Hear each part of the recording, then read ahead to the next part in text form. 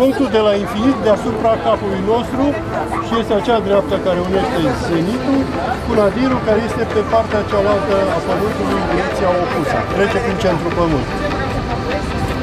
Acesta folosește principiul oglinzilor reflectante. Cu aceste obiecte ne aflăm poziția pe glob și chiar poziția în univers, pentru că sextantul a fost folosit și în aviație și este folosit în aviație, în zonele polare, de asemenea în misiunile spațiale. Cele șapte misiuni către lună au folosit un sextant.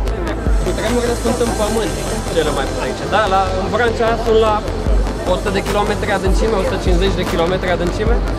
Deci dacă fac așa și suntem rodiți, tu îl simți pe vertical. Și asta nu e așa de periculos pentru clădire, da? Dar când devine un cutremur periculos, când se mișcă pe orizontală clădirile, da?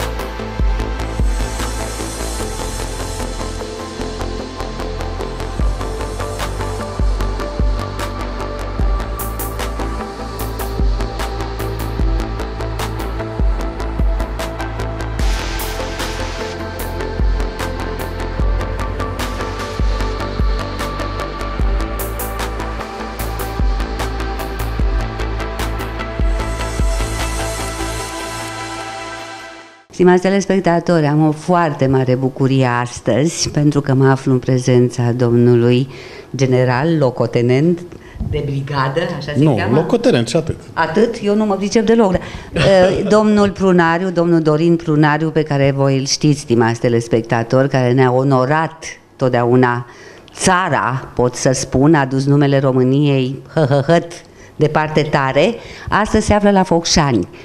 Bucuria mea este foarte mare. Noi când ne-am cunoscut, acum câți ani? Nu știu, 20, 25, 20 30. Cam mult, nu? În secolul trecut. În secolul trecut. Cam mult, totuși, Cam mult. nu? Da, dar și am realizat multe lucruri între timp. Dumneavoastră ați da. realizat multe lucruri între timp și chiar aș vrea să ne spuneți câteva lucruri despre realizările pe care le-ați avut în ultimul timp, domnule general. Oh, uh, deși oficial uh, sunt trecut în rezervă din uh, forțele aeriene de mulți ani, activitatea mea cosmică continuă.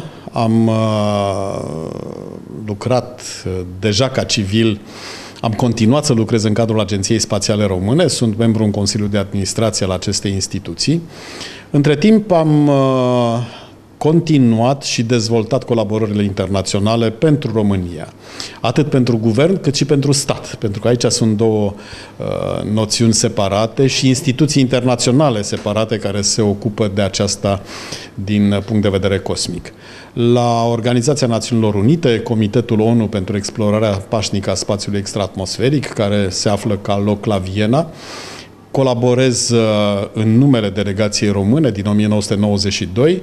Am fost de două ori președinte al acestui comitet, ales prin uh, votul statelor membre. Sunt 100 de state acum membrele acestui comitet. De asemenea, pe lângă această activitate, reprezint uh, România în cadrul Comitetului de Relații Internaționale al Agenției Spațiale Europene. România a devenit stat cu drepturi de plină în cadrul acestei instituții europene în 2012. Iar pe lângă aceasta, în cadrul unor organizații neguvernamentale, internaționale, care promovează studiul spațiului cosmic și al numitor problematici legate de spațiul cosmic, uh, Mă ocup de asteroizi în cadrul Fundației Asteroid, ea este înregistrată la Luxemburg. Acolo sunt vicepreședintele fundației și organizăm anual uh, Ziua Asteroidului, o manifestare internațională. Această zi a fost declarată internațională printr-o rezoluție a adunării generale a ONU. Iar pe de altă parte, de mare viitor, este explorarea lunii. Deja anul acesta un, o primă navă cosmică din cele care vor explora efectiv Luna, americană, cu racheta purtătoare corespunzătoare, vor fi lansate spre lună, vor face un test în jurul lunii și vor reveni. Zborul e planificat pentru luna august în cadrul programului Artemis iar uh, din 2024 se așteaptă ca un prim echipaj să pună piciorul pe lună. Eu mă gândeam acum când uh, vorbeați despre lună, despre prima dată când am făcut un interviu la, uh, cum se, la observatorul astronomic de pe Lascăr Catargi se cheamă da. acum, când eram eu elevă și locuiam acolo, se numea Ana Ipătescu, și mă gândeam, persoana asta, domnul ăsta drăguț, a mers în cosmos, erați singurul cosmonaut în România, nu? Care a... am rămas, și rămas, din păcate, din păcate spun eu, dar am rămas singur. Ați da. rămas singurul cosmonaut în România, da? Da, este adevărat. Uh, de ce oare ați rămas singur? De ce? Pentru că România, când am zburat eu în cosmos, făcea parte din un program internațional care a promovat nu numai dezvoltarea activităților cosmice în țări uh, partenere ale URSS-ului pe atunci, a promovat dezvoltarea de uh, instituții, formarea de specialiști și a inclus trimiterea câte unui uh, cosmonaut din fiecare țară parteneră la acel program în spațiul cosmic. Și acum ce se întâmplă? Acum, uh, în calitate de membri în Agenția Spațială Europeană, tocmai am participat anul acesta la o nouă selecție de astronauți europeni. În schimb, competiția este mult mai mare, nimic nu este garantat pentru un stat ca România și din 12.580 de candidați la nivel Aha. european, au, uh, s-au prezentat 255 de români, au rămas în final 15, uh, din care, care urmează să treacă peste alte probe de selecție, dar din țările puternice dezvoltate europene, de exemplu din Franța, au rămas peste 500 de candidați în această fază. Ei vom vedea, vor fi selecționați puțin, până în 10 Neplăcut pentru noi, neplăcut pentru noi, da, Participăm la o da. competiție. Da. Competiția da. se face conform normelor stabilite la nivelul Agenției Spațiale Europene și vom vedea. Să dea Dumnezeu să avem cât mai mulți candidați, cât mai mulți reușiți și așa mai departe. Dar spuneți-mi, vă rog, uh, sar un pic de la una la alta, că timpul nu ne permite să o luăm așa de capo și ce se întâmplă astăzi, apropo de cosmos, apropo de ce, războaie, apropo, ce părere aveți dumneavoastră personal despre uh, ce se întâmplă? Noi uh, căutăm pe cât posibil să evităm orice conflict în spațiul cosmic. Deși pe Pământ sunt atât de multe conflicte, iar acum ne preocupă în mod special uh, conflictul din Ucraina, da, da. uitați că în spațiul cosmic astronauții americani cu cosmonauții ruși și cu alții de alte naționalități colaborează în continuare.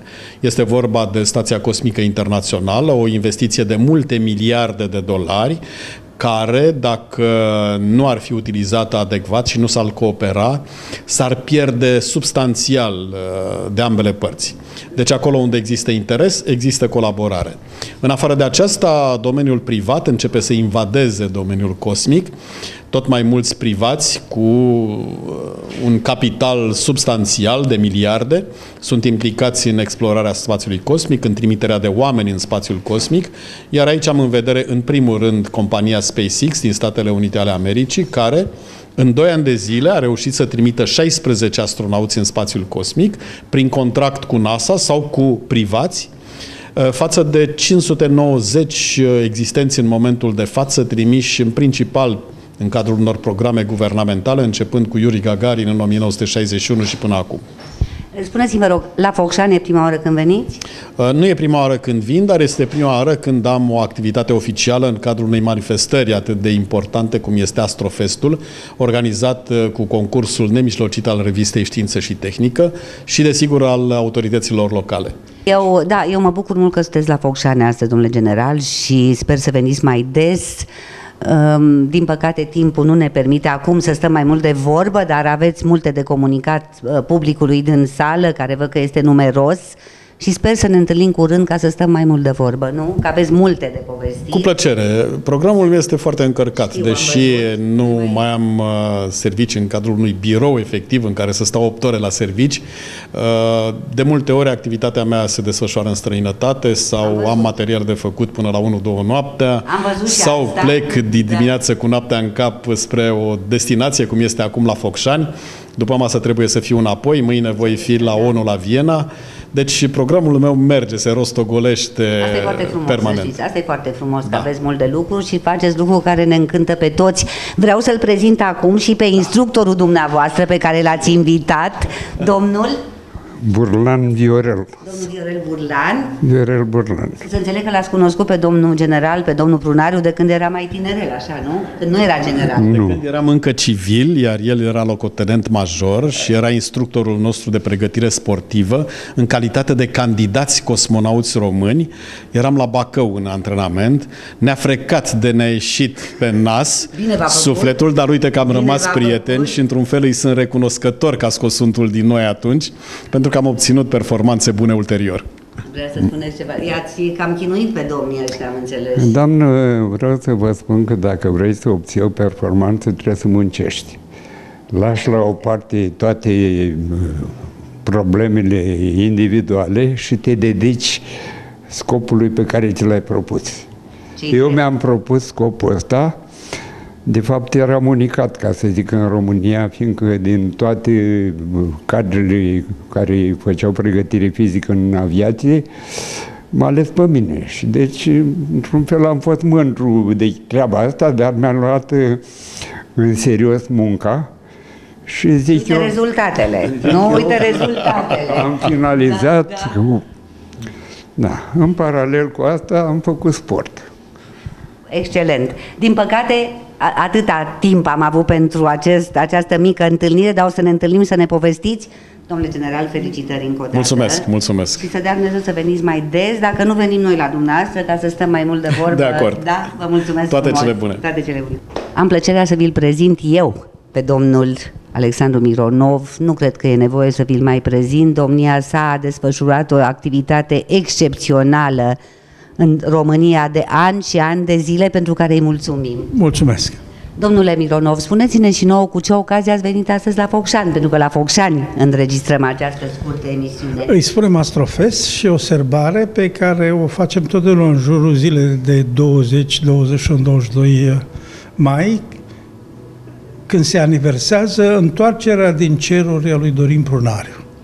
Ce frumos! Și suntem în apropiere și de Ziua Internațională a Astronomiei și atunci eu m-am hotărât că atât timp cât încă pot să stric tare și lumea să mă audă, pe Dorin Prunariu, care e o adevărată legendă a românilor, trebuie să îl sărbătorim tot timpul, un, oriunde s-ar afla el.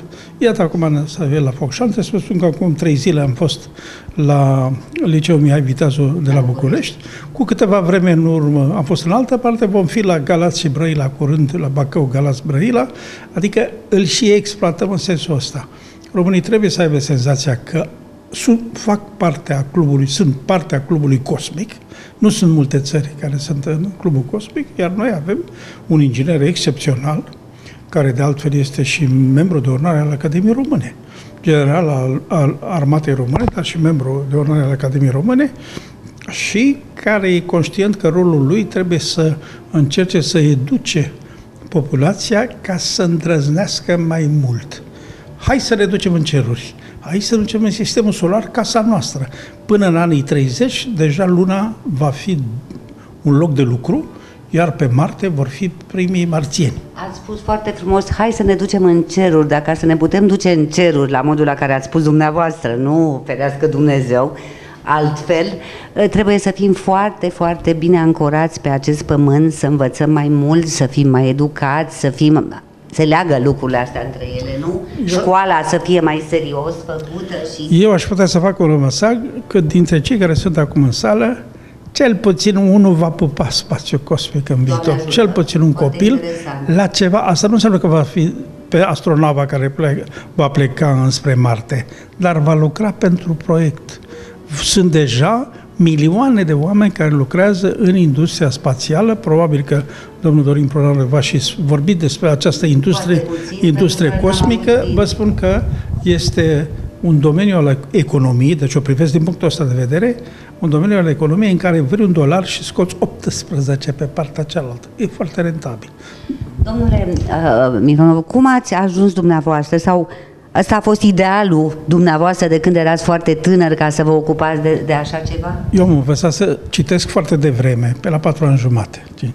a fost fatal când am dat peste 20.000 de leghe sumari și apoi Jules Verne tot și apoi și așa mai departe. Uh, am dat peste povestiri de, despre aventuri pe pământ și spațiale și uh, Asta m-a, v-a- asta a m-a fost prins. impulsul. Sunt Da. profesor de matematică de felul meu, dar având talent la literar și fiind, cum vedeți, bun vorbitor, le-am am încercat să le uh, în, pun împreună una și alta. A mers foarte bine, văd că copiii tineri pe unde trec mă ascultă și oamenii mari la fel. De altfel, cred că adevăratul public la căruia mă adresez eu este cel al tinerilor la minte, indiferent de vârstă. Frumos spus, foarte frumos, tinerilor la minte. Dar, uh, după părerea, trebuie să vorbesc un pic și despre ce se întâmplă acum în lume, nenorocirea asta de lângă noi, Ucraina, cu, cu războiul și cu bombele, afectează un pic, uh, eu știu, zona spațială?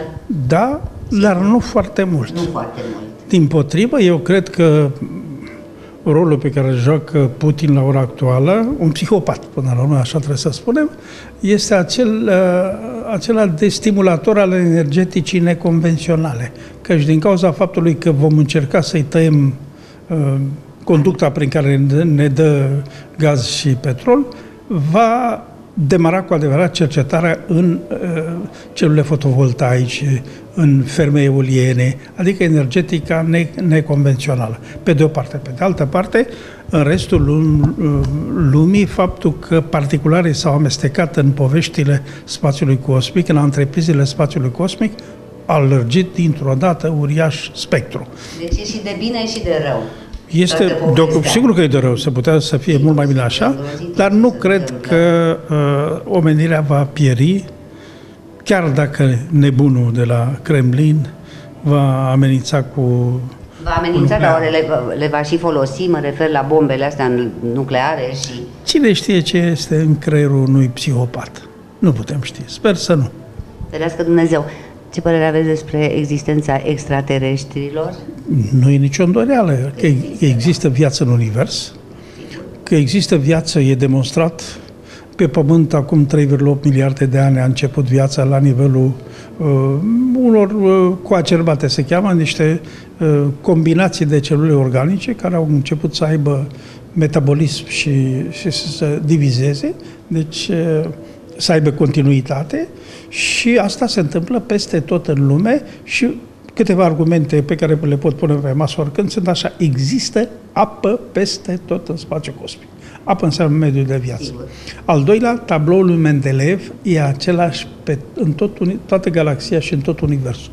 Deci sunt la fel formate planetele, stelele care sunt, care sunt mai departe. Al treilea, sigur, se poate răspunde, încerca să răspunde la întrebarea, da, dacă există, de ce nu s-au arătat? S-ar putea să nu ne observăm unii pe alții. Suntem, suntem complet diferiți, absolut complet diferiți, cumva în universuri uh, paralele. Sau încă n-a venit timpul. Încă n-a venit timp. Cel mai aproape de noi, o posibilă stea pe care a apărut viața și se poate dezvolta la rațiune, înseamnă zeci de mii de ani. Lumină, zeci de mii de ani lumină. Ceea ce înseamnă așa departe și nu uitați că legile fizicii spun că există o limită la viteza luminii. Foarte interesant. E un subiect mai amplu pe care poate o să-l dezbatem odată când o o să aveți mai mult timp. Vă place muzica? Sunteți meloman? Sunteți matematician? Trebuie să vă placă. Da, dar n-am educație muzicală. Din păcate, la școala pe care am făcut-o eu, o școală extraordinară, Liceul Colegiul Nicolae Bălcescu, Carol I spune acum, din Craiova, matematica și limbile străine. Vorbesc câteva limbi străine, sunt profesor de matematică, dar la muzică n-au avut timp să... Arta am învățat singur. Vorbeam cu Dumnezeu să-l odihnească cu Solomon Marcus și spunea între muzică și matematică eu, le, eu, tre- eu coordonez lucrările de uh, doctorat ale studenților de la conservator. Dumneavoastră ați vorbit cu un geniu. Solomon Marcus a fost un, un geniu din toate Așa punctele este, de vedere, așa este. un om cu, cu- și cu o empatie extraordinară. Dacă vă dau un singur exemplu din viața lui, el merită toate acoladele cu putință. Unul dintre studenții lui, Gheorghe Păun, a inventat, pot să spun, teoria membranelor împreună cu un coleg Cristian Calude și a, de, a deschis o școală de membrane care un an este la, la el acasă la, la Curtea de Argeș și un an în Argentina. când am fost la Curtea de Alge și am luat o echipă de filmare și m-am dus să-l filmez în fața sălii unde se ținea conferința, cine stătea? Academicianul Sonoma Marcos, care mi-a, mi-a zis așa, Mironov, trebuie să spun așa, că cea mai importantă realizare a vieții mele este că am avut un student ca Gheorghe Păun. Vă dați seama ce generozitate. Era un om excepțional, l-am cunoscut, l-am avut în emisiuni, chiar a scris într-o carte și despre mine și sunt foarte mândră. Oameni, noi avem oameni deosebiți, păcat că, păcat. Vă mulțumesc mult mai Cu mare plăcere. Mironov și vă aștept la o emisiune. Bună ziua tuturor! Suntem în sala Ateneului Popular Maior Gheorghe Pastia și în calitatea mea de inițiator al acestui proiect, Festivalul de Știință sau mai precis Caravana Știință și Imaginație, la prima ediție în municipiul Focșan, dau startul acestui eveniment care se va desfășura timp de două zile, astăzi și mâine. Astăzi veți fi întâmpinat de doi oaspeți speciali, iar uh, mâine, pe tot parcursul zilei, aveți uh, dimineață ateliere interactive și o altă conferință extraordinar de frumoasă cu vânători de eclipse, de marțieni și alte chestiuni care sunt legate de univers. Astăzi însă începem uh, acest festival cu o conferință cu totul și cu totul inedită. Avem oaspeți la prima vizită în municipiul Focșan, drept uh, pentru care vreau să mulțumesc primarului municipiului pentru înțelegere și uh, sprijin în acest proiect și consilierilor locali. Uh, de asemenea, aș vrea să mulțumesc și altor prieteni pentru sprijin, uh, respectiv președintele Asociației Science and Technology și revistei Știință și Tehnică, Um, domnul Adrian Bănuța pentru sprijinul logistic și tuturor partenerilor acestei asociații care vă așteaptă în Piața Unirii la aceste ateliere interactive. Vă mulțumesc încă o dată pentru prezență și aș vrea să fac o introducere a invitațiilor mei speciali de astăzi, respectiv domnul profesor Alexandru Mironov, care este președintele onorific al Știință, jurnalist de știință, fost ministru al tineretului și sportului, vicecampion național la scrimă și președintele Federației de Scrimă, dar cel mai tare, cel mai tare voi îl cunoașteți, cel puțin în vechea generație, nu neapărat cea mai tânără, de la televizor, de la emisiunile TVR, Știință și Imaginație și mai nou de la Digipedia, DigiWorld, uh, care pune în valoare toate personalitățile țării. Bine ați venit, domnule profesor! Înainte să vă dau cuvântul, aș vrea să-l invit și pe primul cosmonaut din România care a ajuns în cosmos acum 41 de ani. Este o onoare pentru noi, domnule Dumitru Dorincu Marin, să vă avem invitat în mijlocul nostru și ne face o deosebită plăcere să vă spunem bun venit în municipiul Focșan și cu siguranță tinerii vor afla multe povești interesante de la dumneavoastră. Nu înainte de a începe, vreau să-l invit în scenă și pe primarul municipiului Focșan să adreseze două cuvinte oaspeților noștri speciali, după care uh, să ascultăm uh, poveștile interesante ale celor două personalități uh, Mulțumesc!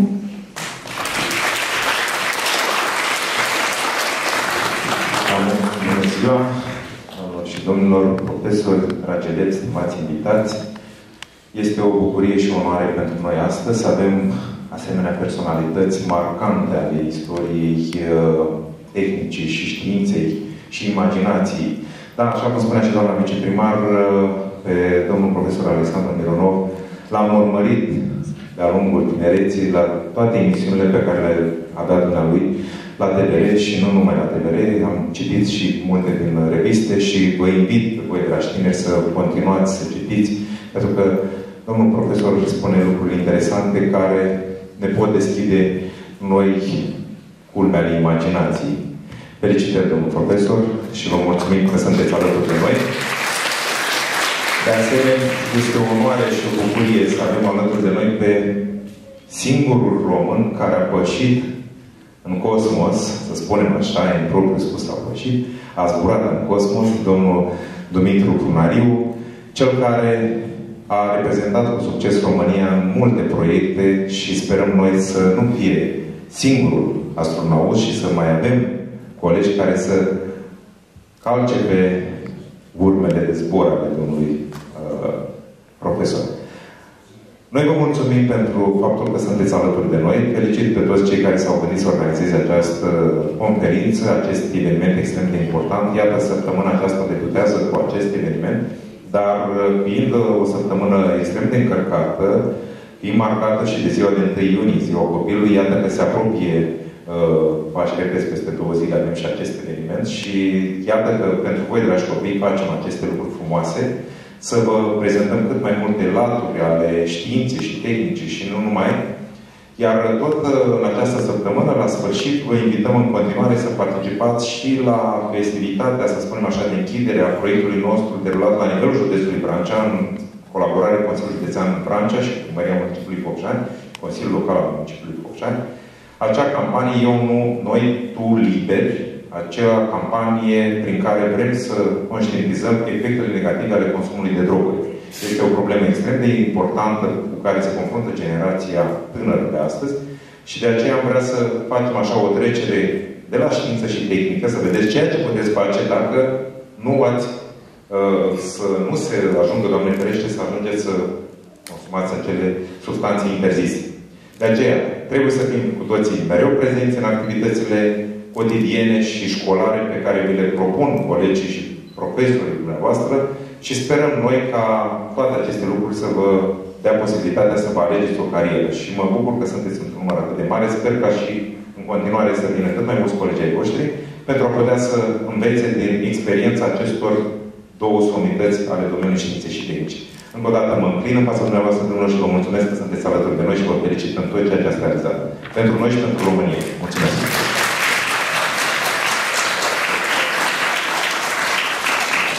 Aplauze încă o dată și vă lăsăm în compania celor doi mari profesori și oameni de știință și cultură, Alexandru Mironov și Dumitru Dorin Prunariu. Vă mulțumim și rămâneți în continuare până la final pentru că merită. Mulțumesc demnitarilor. Eu nu sunt decât jurnalist de știință. Am avut prilejul în activitatea mea să fiu lângă mari solidăți, mari creiere ale României, specialiști în diverse domenii, trebuie să știți că aproape în toate științele, toate tehnologiile, totdeauna este cel puțin un român care duce știința înainte. De data asta, însă, pentru voi este un, un, uh, o situație cu totul și cu totul deosebită, pentru că generalul membru de onoare al Academiei Române, Dumitru Prunariu, este unul dintre personajele legendare Adică gândiți-vă că în toate cărțile de istorie, de peste 10, 50, 100, 150 de ani, de Dorin Dumitru Bunanu va fi primul român care s-a ridicat în spațiul cosmic.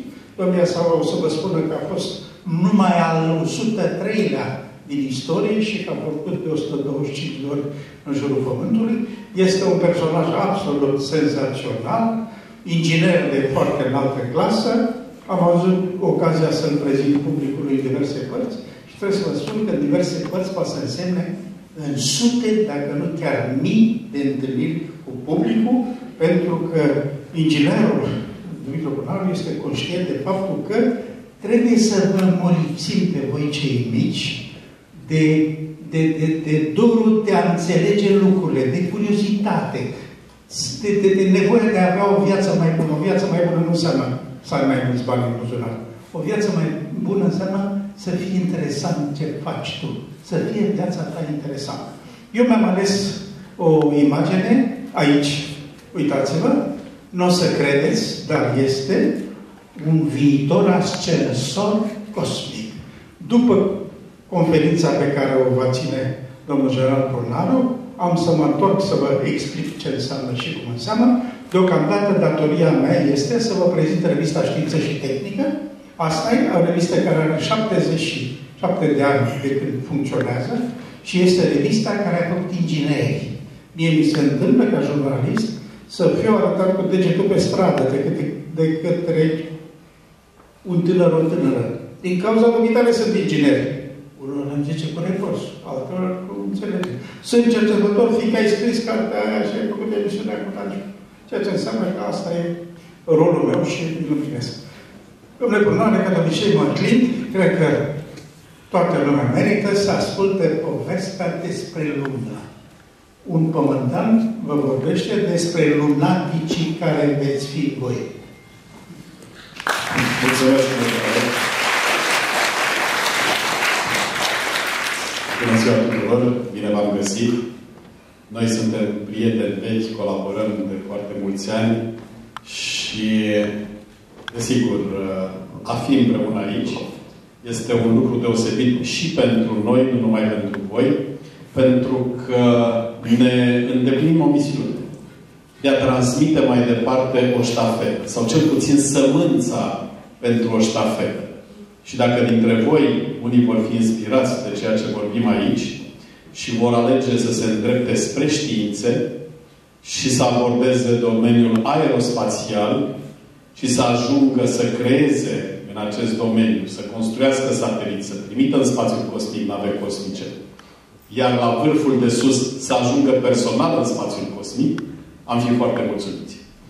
M-am hotărât ca... Ok. Vedeți că acum așa că merge.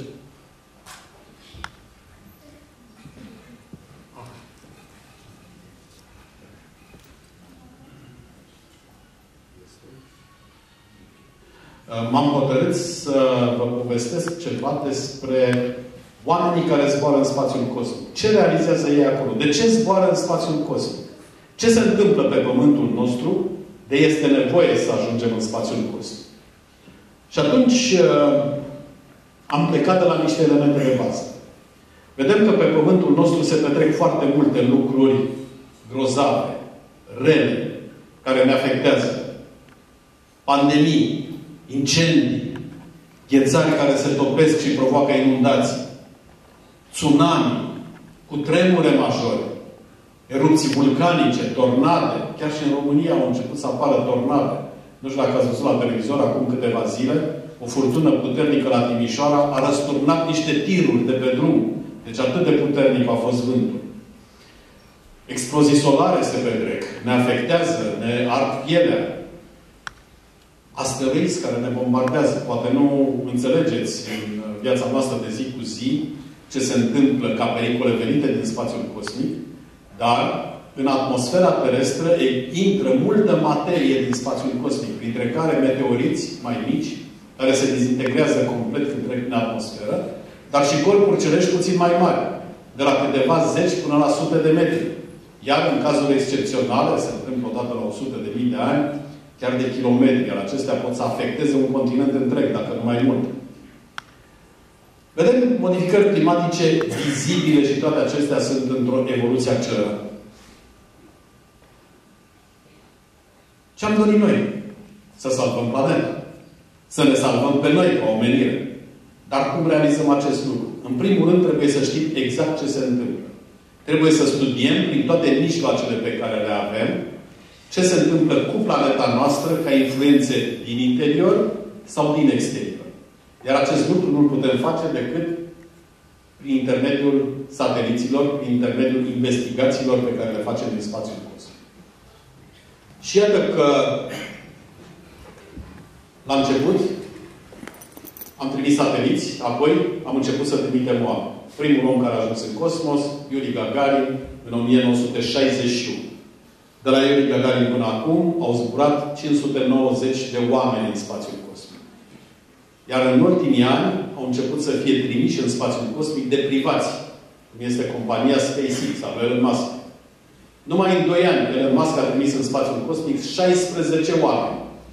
În 2 ani. Pe contracte cu NASA, pe contracte private, a trimis miliardari, a trimis oameni simpli, a trimis cosmonauți profesioniști. Iar această activitate se va intensifica.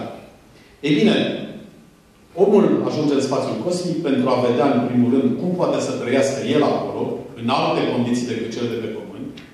Gândiți-vă că acolo este imponderabilitate, nu mai ai greutate, toate procesele din organism se modifică datorită acestui lucru, sângele nu mai este atras pe picioare, se distribuie ușor în uniform în organism, e pompat mai puternic spre cap, încep să ai dureri de cap, articulațiile, oasele nu mai sunt supuse greutății proprii ale al organismului. Și și aceștia, dacă stai mult în cosmos, se atrofiază, trebuie să faci sport permanent. Se produc multe alte modificări în organism. Ei bine, pentru a putea să explorăm alte planete, alte corpuri cerești, cum sunt Luna sau planeta Marte, trebuie să știm în primul rând cum putem rezista ca oameni în alte condiții de viață decât cele terestre. Într-o atmosferă artificială, pentru că nici pe Lună, nici pe Marte nu există atmosfera de pe Pământ. De asemenea, cum ne transformăm în alte condiții gravitaționale. Pe lună, gravitația este de șase ori mai mică decât pe Pământ. Pe Marte, de două ori și jumătate mai mică decât pe Pământ. Toate aceste lucruri le studiem. Iar medicina cosmică se dezvoltă și are rezultate interesante, iar oamenii au reușit să stea chiar mai mult de un an de zile, neîntrerupt, în spațiul cosmic, la bordul unor stații spațiale. Ei bine, primele studii despre comportamentul uman în spațiul cosmic, timp îndelungat, au fost efectuate nu la bordul navelor cosmice, care au o viață limitată, ci al stațiilor orbitale. Stații cosmice, care la început au aparținut unor anumite state, cum au fost primele stații spațiale, lansate în cosmos de sovietici, începând cu 1971, Salut 1, până la Salut 7, eu am zburat la bordul stației orbitale Salut 6 și uitați, o vedeți uh, aici. Aici sunt eu și stația cosmică Salut 6 cu două nave cosmice antocate la capetele ei. Cu o navă am venit noi, cu cealaltă navă a venit un echipaj care era deja și lucra la bordul stației orbitale. După Salut 6 a venit Salut 7, o stație interesantă, mai complexă, din ce în ce mai complexă. Americanii, după programul Apollo, și-au lansat propriile stații orbitale, stațiile Skylab. De fapt, a fost o stație importantă, Skylab, cu două echipaje care au lucrat multe zeci de zile la bordul ei, au căpătat experiență în domeniul acesta. Iar după Skylab a venit stația tot sovietică la început, rusească ulterior, Mir, o stație care, după ce americanii cu rușii au ajuns să se înțeleagă în domeniul cooperării în utilizarea spațiului cosmic din punct de vedere civil, au încheiat un acord și la bordul stației orbitale Mir, aceasta este Mir, a fost andocată naveta spațială americană, au început să lucreze și echipaje rusești și americane la bordul acestei stații și au pregătit cooperarea pentru cea mai mare stație orbitală care se află acum pe orbită, Stația Cosmică Internațională.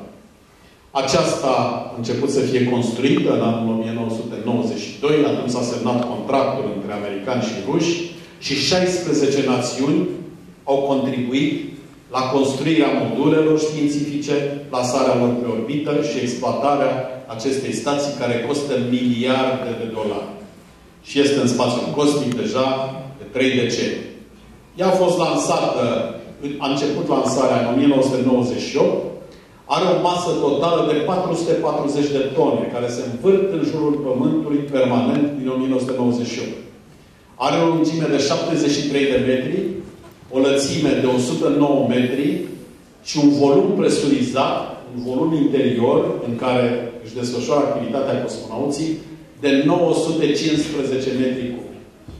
Închipuiți-vă că nava cosmică cu care am zburat eu, în modulul orbital, modulul de comandă, partea din față, practic, în care ne aflam noi și dădeam comenzi, avea 3,8 metri cub de aer. Iar în stația orbitală Salut 6, în total erau 80 de metri cub de aer. Ei bine, vă dați seama cât de mare e stația internațională, dacă are 915 metri cub. Ei bine, la această stație acum vin și se cuplează nu numai nave Soyuz, nu numai nave cargo americane, japoneze, rusești, dar și nave cu echipaj uman făcute de americani privați, cum este Elon Musk. Deci nava lui Dragon aduce permanent echipaje de câte patru persoane care lucrează la bordul Stației Cosmice Internaționale.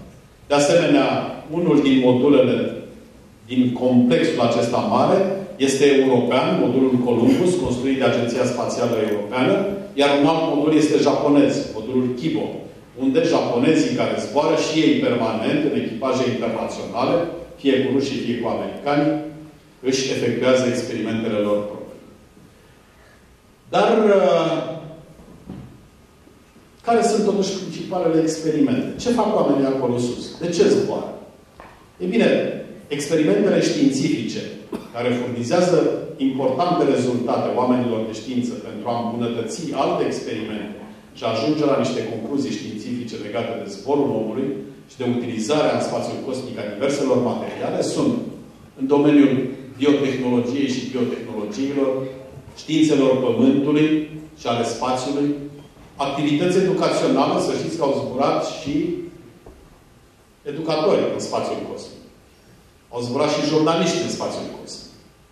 De asemenea, experimente de fizică în microgravitație, tehnologii, dar și cercetări, în primul rând, asupra organismului uman.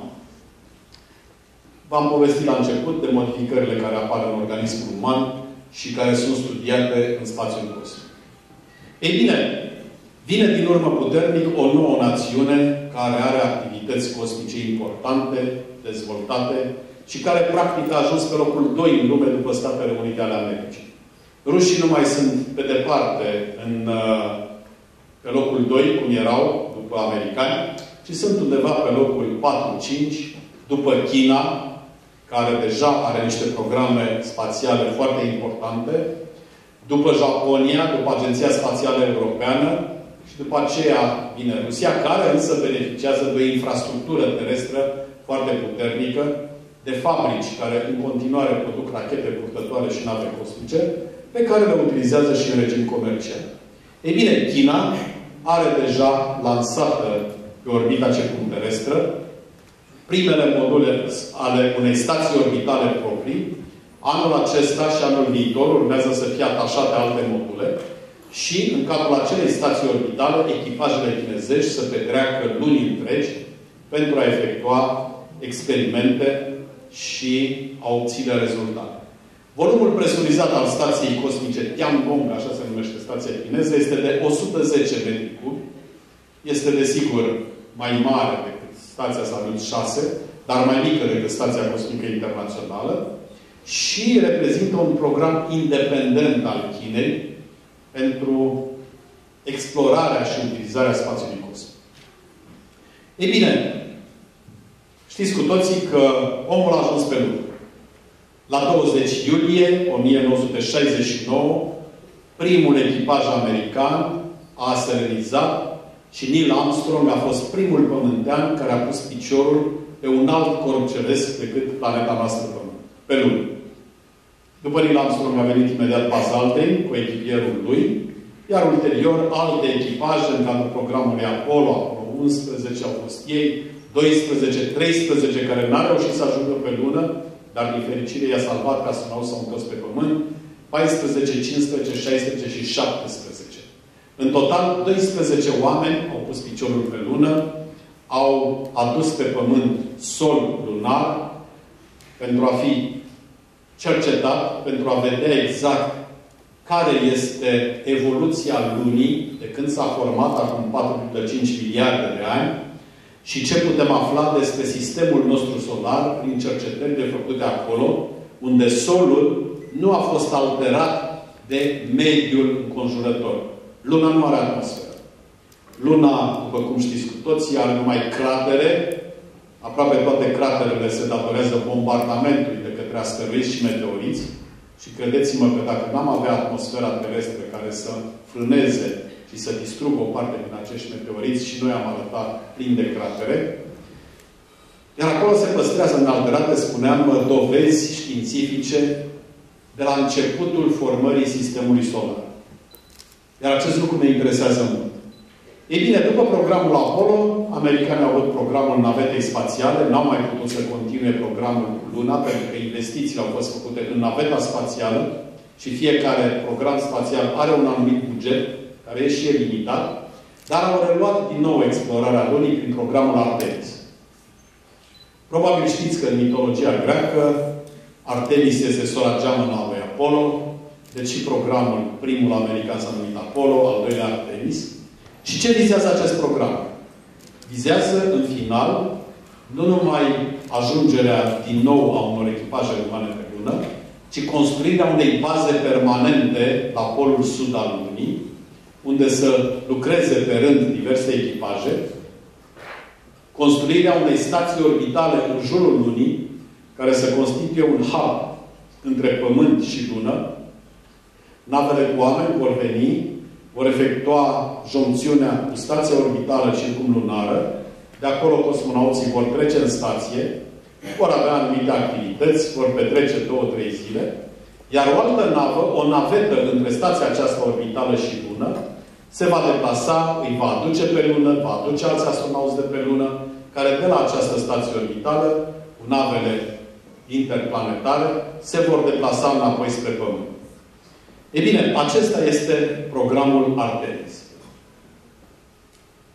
Și iată că pentru a beneficia de o colaborare internațională substanțială, americanii au propus unor țări partenere să semneze niște acorduri de cooperare care se numesc acordurile Artemis, unde diverse alte națiuni pot participa la programele de cercetare, de producere a unor componente pentru nave, pentru echipamentele care vor fi utilizate pe lună.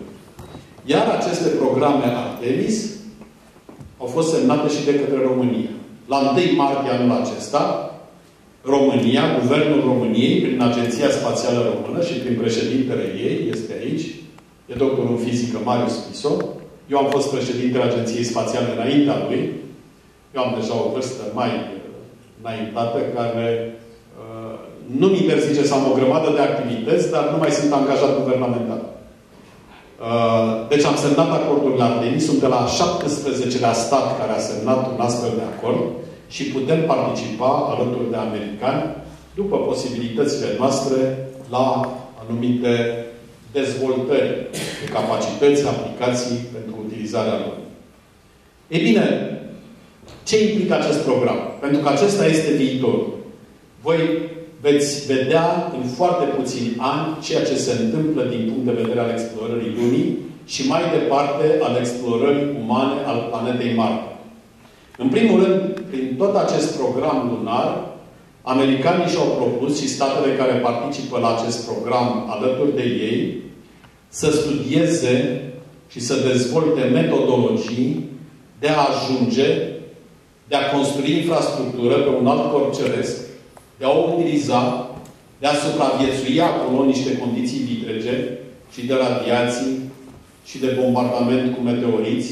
Deci bazele umane vor trebui construite fie în subsolul lunii, fie să fie acoperite cu un strat suficient de gros de material uman, lunar care să ne protejeze. De asemenea, vom învăța cum să zburăm din nou spre lună, cum să aterizăm în diferite locuri a să realizăm în diferite locuri pe lună și să revenim înapoi. Iar toată această experiență o vom folosi ulterior pentru a construi baze, a zbura și a construi baze pe planeta Marte.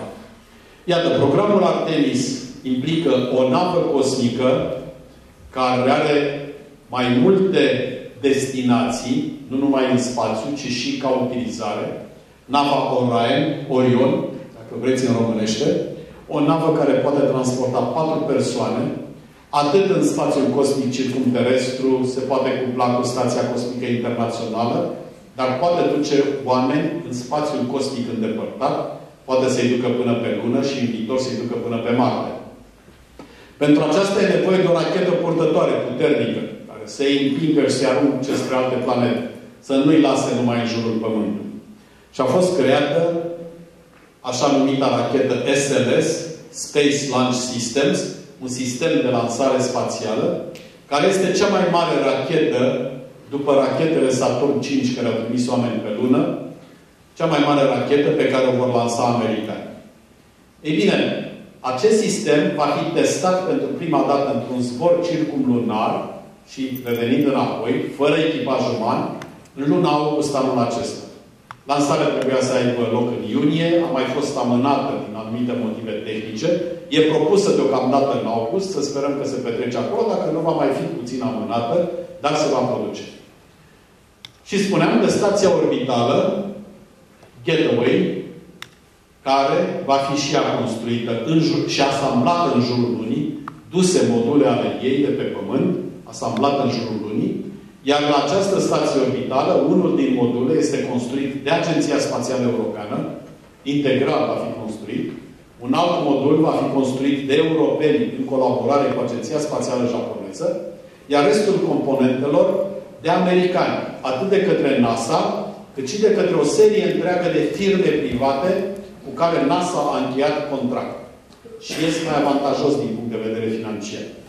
Și există un așa numit program prin care NASA a încurajat participarea firmelor private la programul lunar, a încheiat contract cu ele, iar acestea construiesc diferite părți componente ale structurii care va fi exploatată în jurul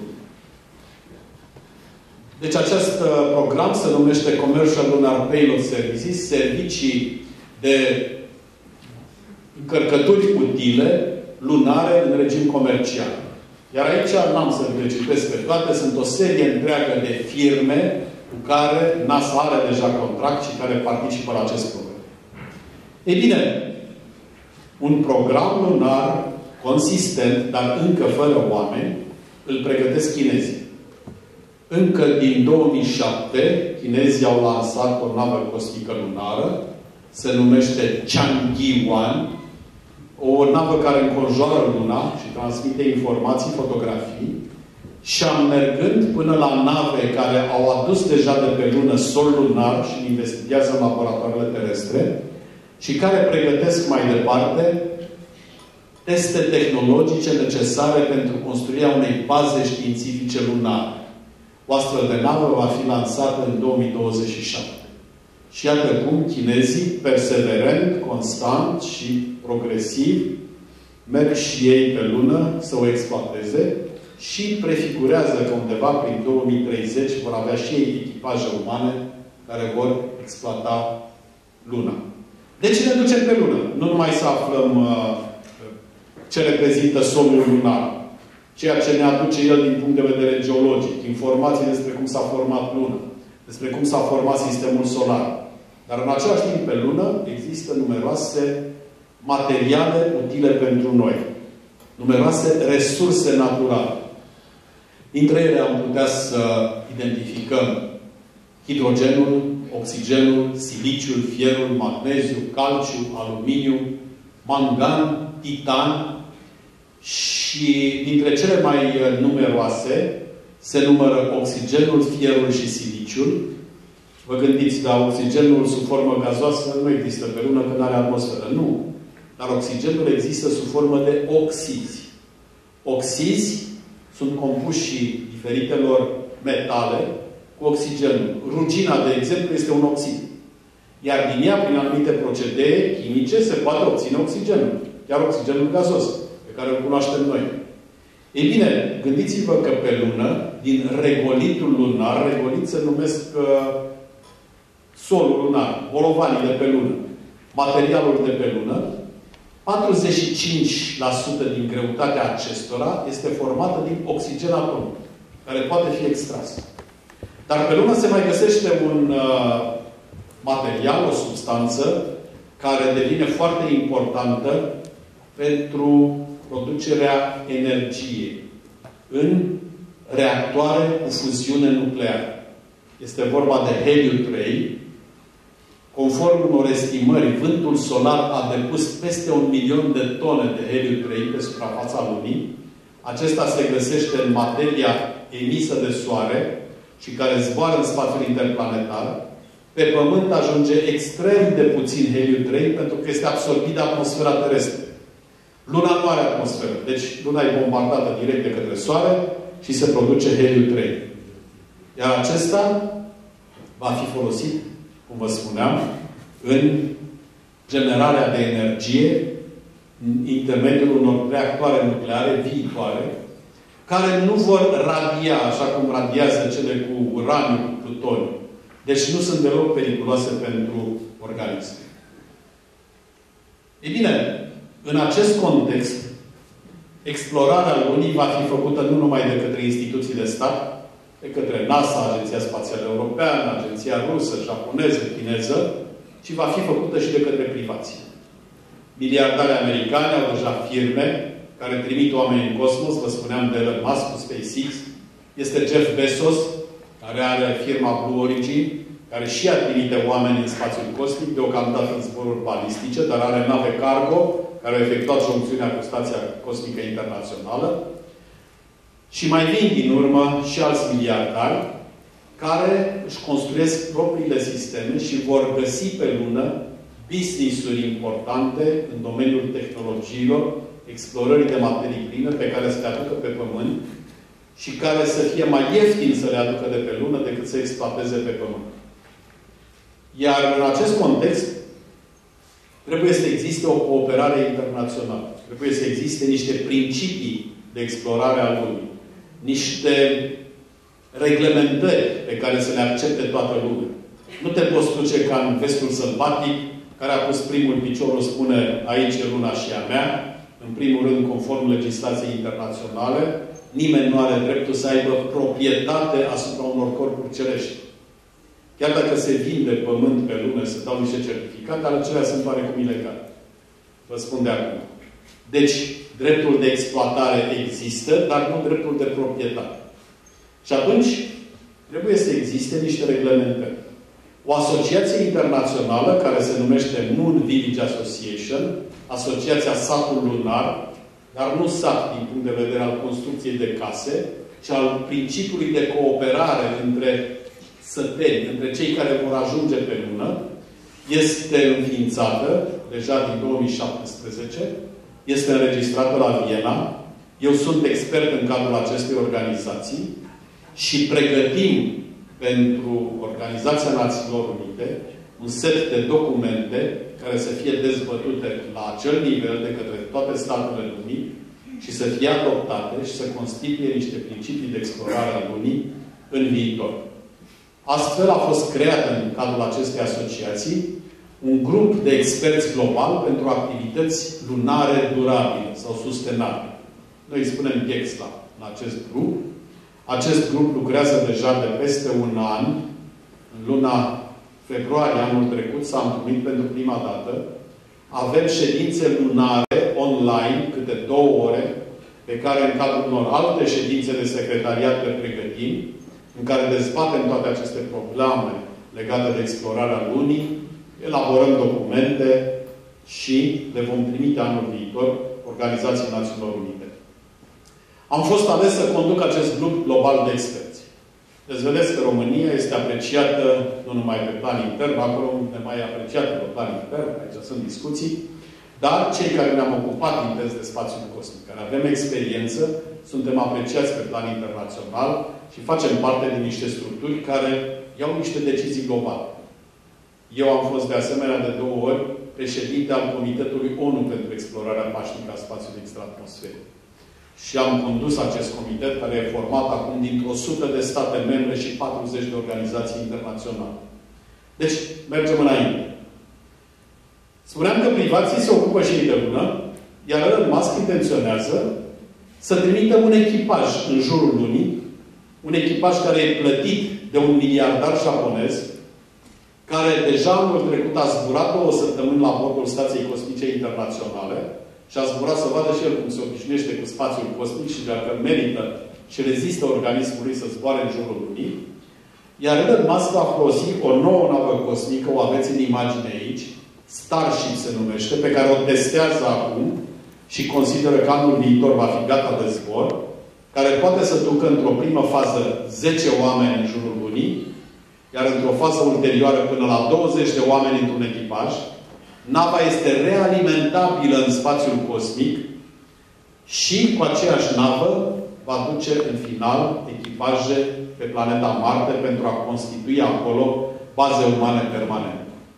Deci, acest uh, program prin care uh, miliardarul japonez Yusaku Maezawa va merge împreună cu 8 oameni în echipaj și cu 2 piloți ai navei cosmice în jurul lumii, se numește foarte frumos Dear Moon, dragă lună. Deci un proiect care caută să arate apropierea dintre om și lună. Ei bine, numai anul acesta sunt planificate nouă misiuni internaționale pe lună. Unele au unor agenții spațiale, NASA, Agenția Spațială Coreană, Agenția Spațială Japoneză, Indiană, dar și al unor firme private. Trimit diferite echipamente, module, care vor coborâ pe lună sau vor zbura în jurul lunii, vor transmite numeroase informații necesare în viitor coborârii omului pe lună într-un viitor apropiat. Și spuneam că luna va constitui o bază de învățare, testare, dar poate și de lansare a unor misiuni spre planeta Marte. Ținta noastră este mai departe. Este Marte, sunt diferite alte corpuri cerești, asteroizi, care pot fi formați din numeroase materiale necesare pe Pământ, zăcăminte naturale, care sunt în concentrație maximă pe asteroizi și foarte greu de găsit de pe Pământ, iar aceia vor constitui puncte de zbor pentru echipaje umane după ce vom ajunge și pe planeta Marte. Și iată că studiind intens planeta Marte, știți că acum un modul american, Perseverance, se află deja de câțiva ani pe lună, pe Marte, investigează dacă găsește urme biologice ancestrale. Deci se consideră că acum peste 3 milioane de ani, Luna în Marte a fost o planetă vie, o planetă pe care au curs râuri, o planetă care a avut atmosferă respirabilă, vegetație și viață. Iar aceasta, din cauza unui cataclism, nu se știe dacă produs pe planetă sau venit din spațiul cosmic, au dispărut. Și această navă Perseverance, care parcurge kilometri întregi pe suprafața planetei Marte, face analize, ia probe, le analizează și caută să determine dacă există urme materiale, biologice. Le spunem ancestrale pentru că au milioane de ani. S-ar putea să se găsească urme ale unor ființe vii, existente în trecut pe planeta Marte. Această navă de curând a transmis o fotografie pe care NASA a publicat-o, care arată ca o poartă construită de ființe inteligente de intrare într-o grotă, undeva într-un munte de pe planeta Marte. Încă nu se știe ce e acolo, dar se vor face investigații. Când vor ajunge oamenii pe Marte, cu inteligența lor, cu spiritul întreprinzător și analitic, vor putea să-și dea seama la fața locului de anumite elemente, să investigheze într-o anumită direcție sau altă direcție și să afle toate aceste secrete. Pe Marte există apă. Atmosfera lui Marte, deși de 10 ori mai rarefiată decât atmosfera Pământului, e formată din dioxid de carbon. Deci, acest CO2 are oxigen în el, iar din el, în absorpția carbonului, se poate produce oxigen respirabil de către oameni. Așa cum se produce, de fapt, și în stația orbitală. Să știți că în spația orbitală se pleacă cu aerul de pe Pământ și echipajele respirând acolo de gaze oxigen, dioxid de carbon, acesta intră într-o reacție chimică cu o substanță unde este absorbit carbonul și oxigenul este redat respirației. La fel se va face și pe alte corpuri cerești. Deci Marte reprezintă următoarea noastră țintă. Desigur, se vorbește despre terraformare. Aducerea unei alte planete la ecosistemul de pe Pământ. Este greu de realizat acest lucru. Nu este imposibil. Ne întrebăm însă dacă merită și dacă este chiar etic să facem acest lucru. Noi ne gândim ca zburând pe alte corpuri cerești să nu aducem pe Pământ anumite materiale care să contamineze Pământul, să provoace pandemii, să provoace dezvoltări nedorite ale mediului natural. Dar la fel se poate produce cu materiale de pe Pământ duse de noi pe alte planete. Aici este mult de analizat și de văzut ce vom face în final. Deci, producem tehnologii, antrenăm oameni și vom ajunge pe alte corpuri cerești. Mulțumesc pentru atenție. Și vă doresc să faceți parte din această aventură umană deosebită.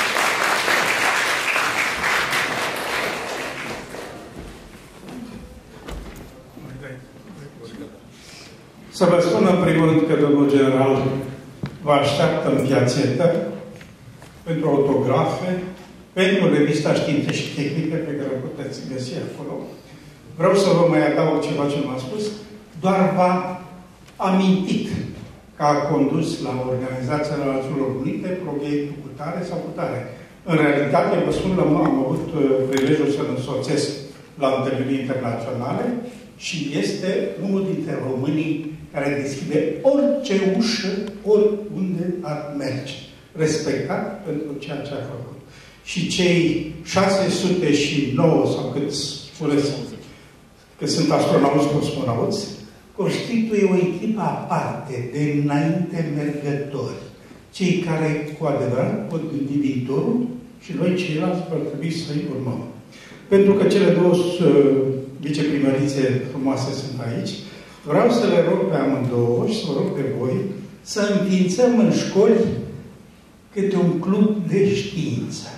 București nu-i departe, Iași nu-i departe, Suceava, Bacău, aveți și aici oameni de valoare în cercetare, chemați la întâlnirile cu voi. Încă o dată, interesul nostru al tuturor este ca voi să vă folosiți creierile foarte bune pe care le aveți, școala bună pe care o faceți și să ajungeți la, la performanță uh, mai departe. Uh, dacă mai avem uh, ascensorul cosmic, vreau să îl, îl dați o secundă. Primare, domnul general vă așteaptă afară. Vom, cei care aveți depus întrebări, deocamdată suntem aici, vă rog să puneți întrebările, domnia sa vă răspunde. Credeți-mă că știe enorm de multe.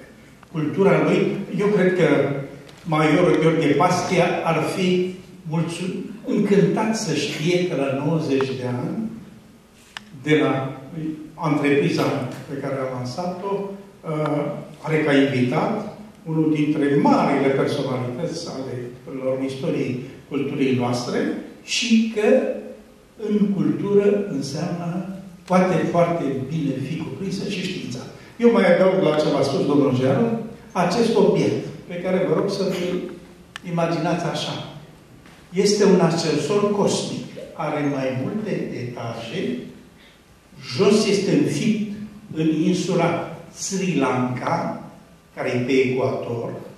Are două tuburi gigantice prin care urcă cabine și coboară cabine ca să ajungă la 32.500 de kilometri deasupra Pământului spațiu cosmic. De ce? Pentru că nu ne vom putea permite într-un viitor, când voi veți decide asupra ce trebuie să facă societatea, nu ne vom permite să tot trimitem rachete cu combustibil care să polueze. Așa că acest, folosind câmpul magnetic al Pământului, câmpul gravitațional al Pământului, pe, se pot ridica pe acest lift cosmic oameni și materiale. Este una dintre tendințele viitorului de a ieși în spațiul cosmic. Domnul general chiar v-a spus acum asta. Eu cred că va exista și o a doua tendință de întoarcere în oceanul planetar. Dar asta e deja o altă poveste, poate altă dată. Așa că acum mă invit, cine are de pus întrebări, vă rog să exploatăm la maximum și să știți că e îmbrăcat în, în bluzonul de cosmonaut. Poate că l-am fi putut convinge să vină în costumul lui de, de cosmonaut, dar e greu să merge mașina lui de la București până aici în costum de cosmonaut. Dar cine știe, poate. Da, deci, cine are ce are de întrebat, spuneți. Ah. Nu este neapărat o întrebare uh, generală, dar sunt foarte curioasă care sunt sentimentele care v-au trecut odată ajuns în spațiu.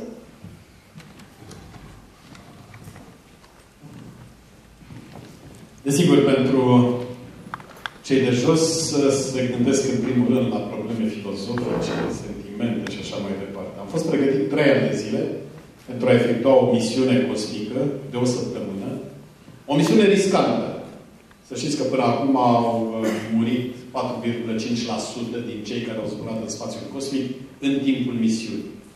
Fie la lansare, cum a fost uh, naveta Challenger, fie la aterizare, cum a fost naveta Columbia și alte nave, și inclusiv rusești. Deci, este o întreprindere riscantă, deși este frumoasă, este extraordinară. Dar în momentul în care ai decis să te dedici acestui domeniu de activitate, l-ai îmbrățișat cu toate riscurile. În primul rând, mi-am dorit dintotdeauna să zbor. Și am ajuns să zbor în spațiul cosmic, mai sus decât oricine. Mi-aș dori să mai fie un român, să ajungă acolo, să-i fiu un mentor dacă se poate. Noi participăm la programele Agenției Spațiale Europene, care în toamna acesta va finaliza un nou program de uh, selecționare de candidați cosmonauți. S-au prezentat și din România voluntari, să vedem dacă vor trece mai departe câți. Țările puternice sunt foarte puternice, Franța, Germania, Spania, Italia, de exemplu, care au mult mai mulți candidați decât noi, decât noi, iar acolo vor fi selecționați puțin, până în 10. Deci, toți cei care am zburat în cosmos am trecut prin aceleași faze. Și de pregătire, și de emoții la lansare, și de mândrie că suntem pământeni, cetățenii acestei planete, privind planeta din spațiul cosmic. Desigur, emoțiile sunt destul de mari la lansare. Nu ți-e frică, pentru că frica a fost învinsă de mult în timpul pregătirii. Am avut tot felul de antrenamente complexe, care s-au făcut foarte științific. Chiar dacă la început era frică de anumite situații speciale, le-am repetat de atâtea ori până când ne-am obișnuit cu ele și îmi se păreau floare la ureche, când am învățat toată teoria din spatele lor și ceea ce trebuie făcut ca să ne salvăm, și atunci am considerat că suntem stăpâni pe noi. Cel mai important sentiment îl când îți vezi propria planetă din exteriorul ei. Este un sentiment extraordinar să simți cât de important ești ca ființă umană care te afli undeva deasupra planetei, deasupra atmosferei terestre și o vezi acolo jos, rotundă, curbată, cu un strat extrem de subțire albăstrui deasupra ei, care reprezintă atmosfera terestră. Să știți că imaginea aceasta a unei atmosfere extrem de subțiri în jurul Pământului, realizând că în ea se desfășoară viața, fără aceasta nu pot să existe ființe pe Pământ, plante și așa mai departe, sentimentul este de îngrijorare enormă, pentru că îți dai seama că atmosfera este, este poluată, fenomenele naturale se petrec în interiorul ei, încălzirea globală duce la numeroase probleme pentru omenire și pentru planetă și totuși pe aceasta trebuie să o protejăm pentru noi, pentru generațiile viitoare, să o readucem la starea ei naturală, respirabilă, bună pentru continuarea vieții pe Pământ. Deci aici este sentimentul cel mai important pe care ți-l generează imaginea aceasta a Pământului văzută din spațiul cosmic. Sunt multe de povesti, dar mă opresc aici. Alte întrebări?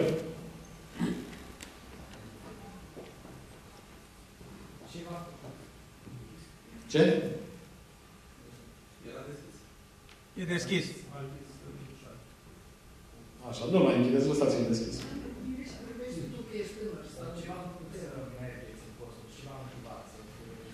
Ce m-a motivat să merg în cosmos, să devin cosmonaut? Vă spuneam la început că mi-am dorit întotdeauna să zbor. Eu sunt o zodie de aer, sunt balanță. Și întotdeauna mi-a plăcut să privesc pe cer, să văd păsări, avioane, să înțeleg de când eram mic cum zboară, de ce zboară. Tatăl meu inginer mi-a explicat un pic ce înseamnă un avion, de ce zboară, ce fenomene se produc pe aripile lui. La început le-am luat ca atare, nu le-am înțeles pentru că eram prea mic, mai departe am învățat la fizică. M-am înscris la un cer de aeromodele în cadrul casei pionierilor de atunci. Am învățat să construiesc modele, am învățat ce înseamnă aerodinamică. Mi-am dorit să construiesc avioane mai mari cu care să zbor eu însumi. Apoi am ocupat și de rachetomodele, care zburau mult mai repede, mai sus. Și dorința aceasta de a construi aparate de zbor și de a zbura cu ele m-a însoțit în permanență. Am urmat cursurile Facultății de Inginerie Aerospațială de la Politehnica Bucureșteană, am devenit inginer de aviație și am avut marea șansă să mă aflu la locul potrivit, la momentul potrivit, pentru a afla despre selecționările de candidați cosmonauți români și să ridic mâna, la început mai mult din curiozitate, și să spun vreau și eu. Iar de acolo, uitați unde am ajuns, sunt în fața voastră acum, după 41 de ani de când am efectuat acel zbor cosmic istoric pentru România. Alte întrebări?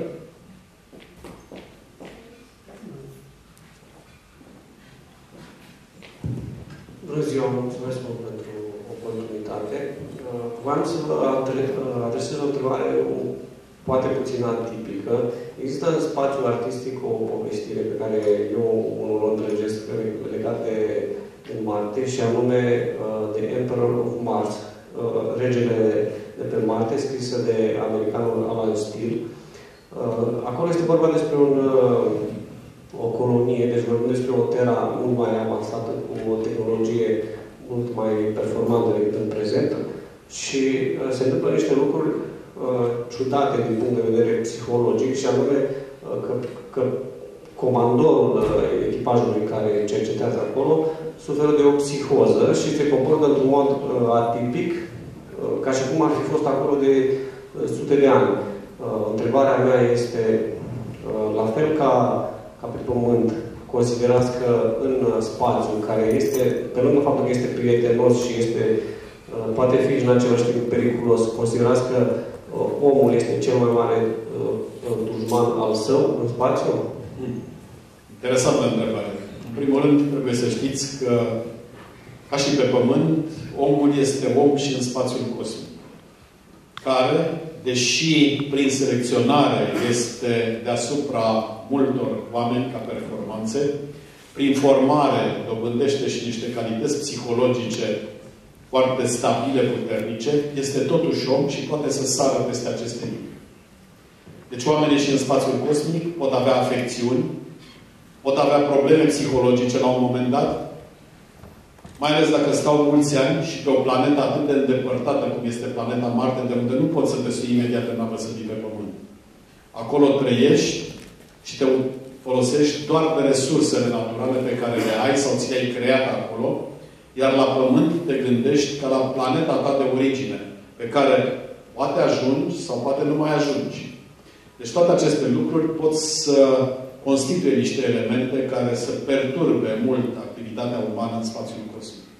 Desigur, se iau toate măsurile pentru a nu se ajunge acolo.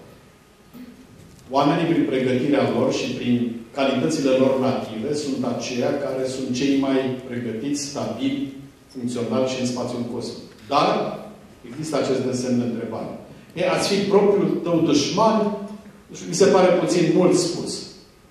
Dar astfel de probleme pot interveni. Să știți că s-a întâmplat și la bordul stațiilor orbitale să existe conflicte între membri, să nu se înțeleagă pe anumite probleme. Dar niciodată acele conflicte nu au degenerat, pentru că toți au știut care este misiunea lor principală. De a lucra, de a coopera. Chiar dacă au existat răceli între membri și nu au mai cooperat așa cum trebuie pe anumite elemente, ei au continuat să funcționeze și să țină în funcțiune sistemul cosmic la bordul cărora au fost.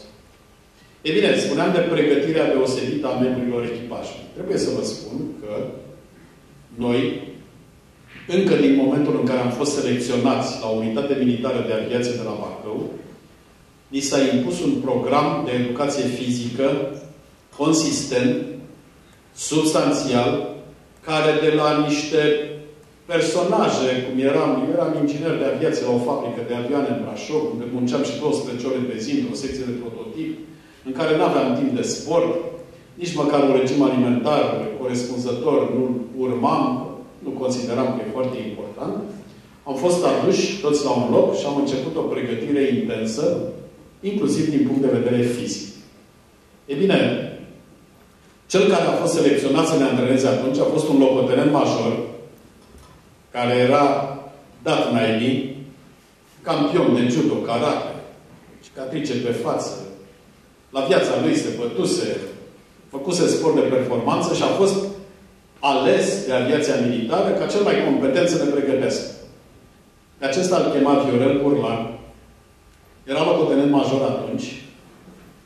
E focșănean și acum se află aici în sală.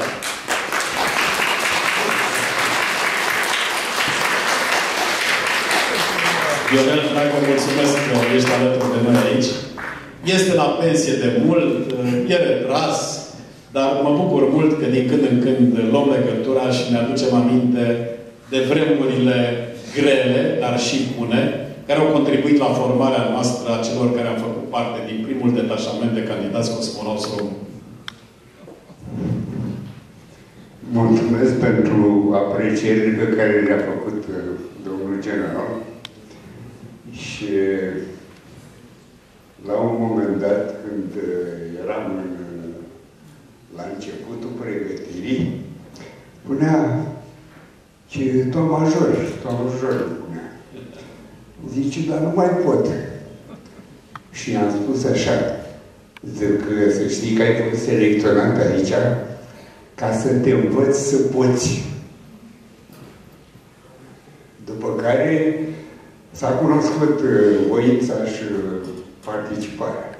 Un singur lucru de ăsta mărunt vreau să Când erai în cosmos, era tot de acasă. Normal că mi era. Ești atașat de oameni, de locuri. Chiar dacă zbor mult în cosmos, înțelegi că aceea e o misiune care se termină la un moment dat și revii acasă printre cei dragi, iarba verde de acasă, florile, pădurile de aici, mirosul plăcut de atmosferă curată unde este. Și normal că ești aproape de cei dragi. Aveam familie, aveam deja doi copii când am zburat în cosmos. Fiul cel mic avea 3 ani, cel mare 5 ani. Cel mare e deja de perioadă lungă, director de zbor la Tarom. A fost și campion național de acrobație aeriană, a făcut și parașutism, de toate a făcut în domeniul zborului. Și a dorit să devină și cosmonaut, dar n-a mai avut ocazia în contextul național și internațional actual. Dacă îmi permiteți, să vă spun cum am, m-am îndrăgostit eu de aviație. Pe timpuri când eram eu copil, aveam vreo 5 ani, se dădeau filme după război. Căderea Berlinului, de exemplu. Și acolo, ce credeți că am văzut? Un grup de parașutiști. Am văzut parașutiștii ăștia, m-au impresionat. Când am venit acasă, ce credeți că am făcut? Am luat un grăl la mama și a sărit dintr-un păr. Și așa m-am îndrăgostit și de aviație. Vă mulțumesc că m-ați ascultat.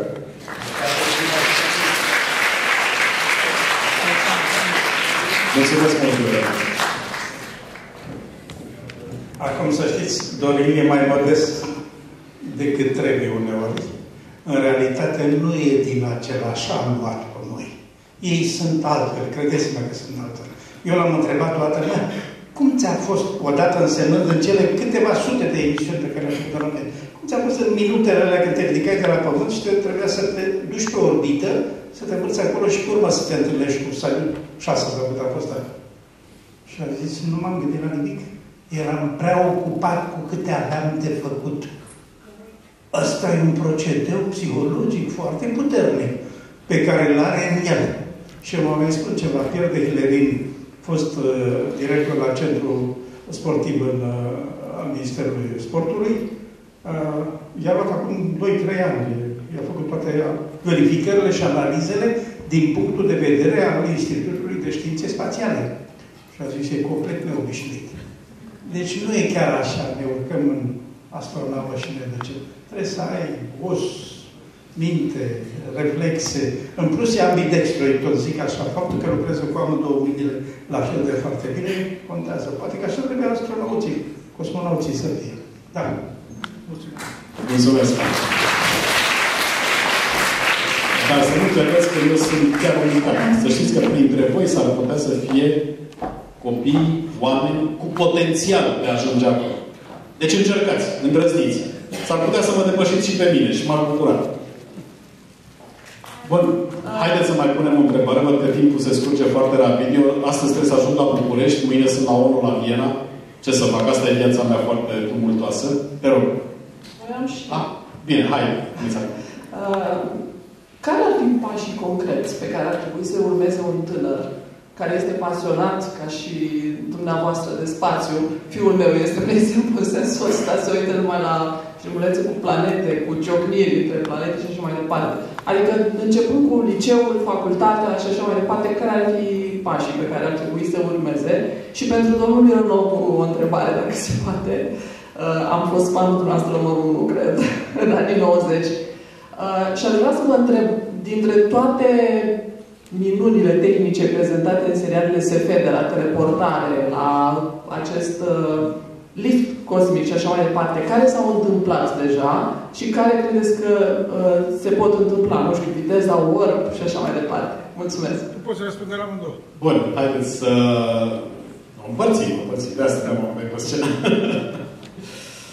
nu există o rețetă pentru a ajunge cosmonaut. Trebuie să înțelegeți de la bun început. Cei care au o anumită pasiune într-un anumit domeniu, e bine să și o urmeze. Pentru că dacă faci un lucru cu pasiune, poți să ajungi la performanță. Dacă îl faci doar pentru că trebuie sau că te-au trimis părinții să faci o anumită facultate și nu prea e dragere de inimă, nu realizezi mare lucru. O să ajungi probabil un funcționar, să lucrezi într-un anumit domeniu în care abia aștept să termine ziua de muncă, să ajungi acasă. Nu asta vă doresc. Vă doresc ca ceea ce faceți să faceți cu pasiune și să nu vă dați seama când au trecut cele 8 ore de muncă, să stați și 12 ore și să doriți să stați mai mult, dar să vă urmați și un program prin care să vă recuperați și astfel să ajungeți la performanță. În spațiul cosmic zboară acum oameni de diferite profesii. Nu numai fizicieni, chimici, doctori, biologi, psihologi, zboară și jurnaliști, și educatori. Deci, dacă veți ajunge într-un top profesional, normal, se caută oameni cu studii superioare, dacă se poate cu doctorat într-un anumit domeniu, uh, să vă aflați într-un mediu care se ocupă de activități cosmice. La noi sunt destule institute, să știți. Și nu sunt localizate numai în București. Sunt și în alte orașe mari, chiar și firme private care furnizează aplicații pentru domeniul cosmic. Uh, dacă ajungeți să lucrați cu unele dintre ele, aveți șanse să vă apropiați mai multe domenii. Chiar dacă nu veți ajunge să zburați efectiv în spațiul cosmic, v-am spus, de la Gagarin până astăzi au zburat 590 de oameni dintre cei 8 miliarde de planetei noastre în cosmos. Dar veți ajunge să vă ocupați de domeniu, să fiți foarte aproape de cosmonauți, de tehnologia cosmică, să creați voi elemente pentru sateliți, pentru aplicații cosmice și așa mai departe. Și este deja foarte important. Deci, nu este o rețetă. La mine v-am spus, eram inginer de aviație, ne-am dorit să zbor și așa mai departe, dar întâmplarea a făcut să mă aflu la momentul potrivit, în locul potrivit, să aflu despre astfel de selecție, să ridic mâna și să spun vreau și eu. Mai departe, a contat pregătirea mea, antrenamentul, greu, dificil pe care l-am făcut până am ajuns la performanță și rezultatele finale foarte bune care m-au calificat și care au făcut comisia guvernamentală care a decis cine zboară în spațiul cosmic să spună el și nu celălalt. Pentru că din România și din toate statele care au zburat până acum în cosmos, s-au pregătit întotdeauna două echipaje. Un zbor cosmic este atât de costisitor, încât nu se riscă ca doar un singur echipaj să fie pregătit. Dacă se întâmplă în ultimul moment ceva cu unul din membrii echipajului. Se îmbolnăvește. Cade și un picior. Nu știu. Orice e posibil. Deși e antrenat, e protejat, dar se poate întâmpla. Atunci este al doilea echipaj care e pregătit să ia locul și să zboare să îndeplinească misiunea cosmică. Și de la noi au fost două echipaje.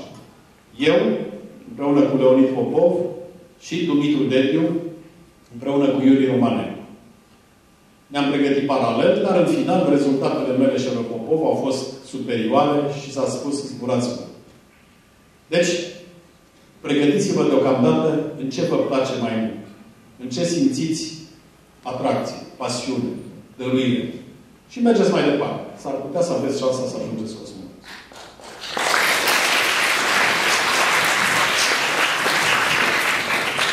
Absolut tot ce și-au imaginat scriitorii de SF s-a întâmplat. Jules Verne, cei acum se citește la vârstă mică, și-a imaginat că aparate mai grele decât aerul pot zbura. Erau niște prostii asta în secolul XIX. Și acum zboară. Submarine care pot să facă 20.000 de lege sub măr, niște prostii. Și acum sunt submarine la mai peste.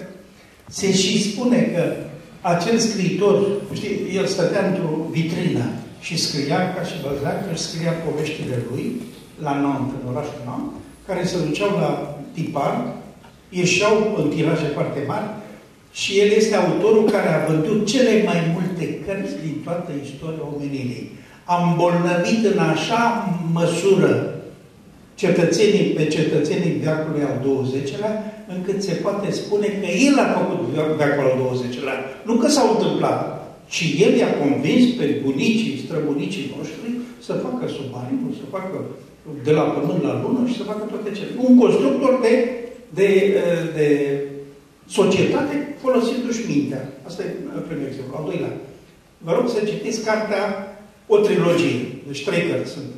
Kim Stanley Robinson este autorul, Marte Roșu, Marte Verde, Marte Albastru, să și spunea acum 10-12 ani când a apărut, că este o mare carte a secolului al XXI-lea, ea a apărut în sfârșitul secolului al XX-lea de fapt, și că dacă urmărim ce se întâmplă acolo cu planeta Marte, exact așa va fi.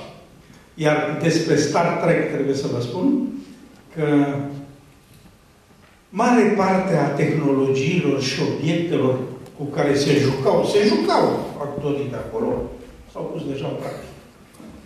Nu? Bing mi, Jim cum era, bing mi, ia, trimite-mă telepatic. Încă nu, nu o să fie, nu o să fie așa. Așteptați-vă la toate minunile pe care le pot da inginerii. Inginerii sunt din categoria Dumitru Prunariu. Ei vor să găsească ceva, pornind de la o idee a uneia dintre savanții care se învârt, apoi apar antreprenorii și până în mișcare și ma- mașinăria lui. Îi, da? Mulțumesc, doamna. Încă o dată, numărul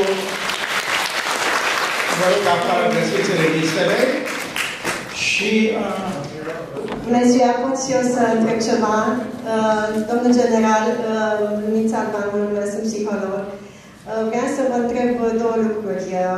Unul, dacă există o pregătire, legat de ce a spus dumneavoastră, există o pregătire psihologică a celor care merg în spațiu, așa cum există și testare psihologică pentru piloții, de exemplu, de aviație, un aspect.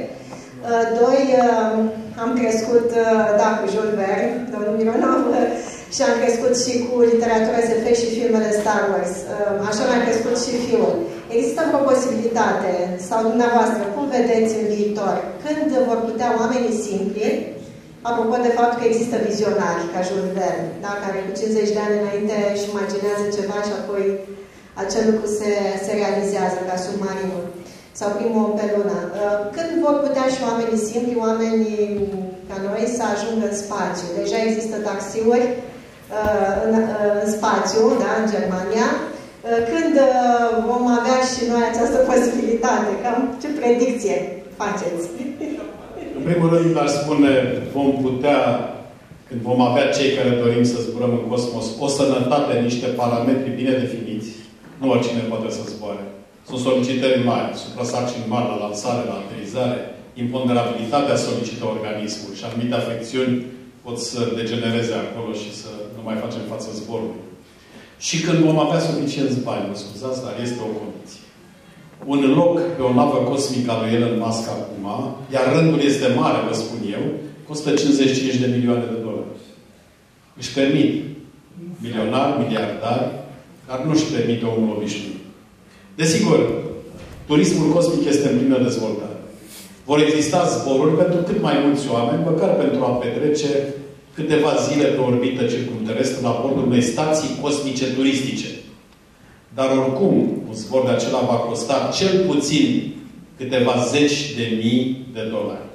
Unii își permit, unii nu-și permit. Deci aceasta rămâne o problemă de viitor. Turismul cosmic este abia la începutul lui. Iar pregătirea psihologică, trebuie să știți că pregătirea psihologică nu se face în clasă, în laborator, în care ți se dau numai teste, se constată cum ești.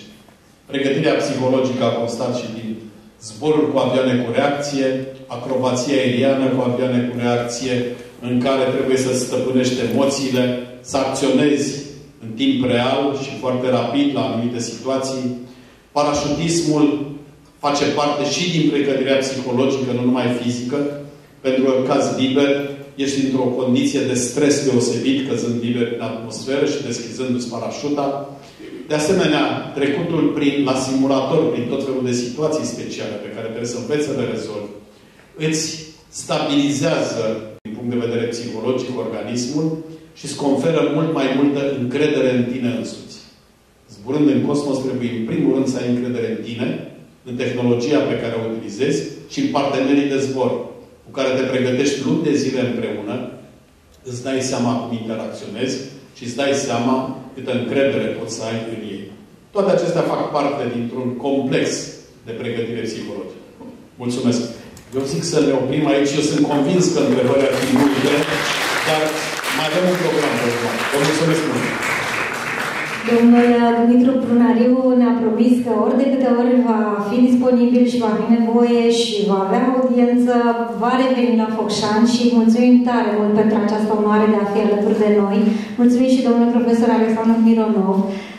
Eu, din partea mea, sper ca cât mai multe generații să trăiască pe pământ, pe un pământ curat, verde, și noi toți să ne îndeplinim măcar o dată în viață visul de a fi turist cosmic. Uh, vă mulțumesc tare mult pentru prezență și vă invit să participați la atelierele interactive care vor începe de la ora 4, chiar mai, mai devreme, să faceți cunoștință cu cercetători de la divers, diferite institute. Unul dintre ei este chiar aici între noi, Dragoș Tomagănilă de la Institutul Național de Fizica Pământului.